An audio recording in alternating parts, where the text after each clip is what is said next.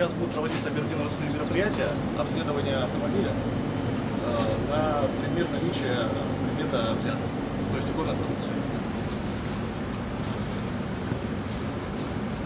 В багажнике данного автомобиля находится 4 контейнера горной продукции.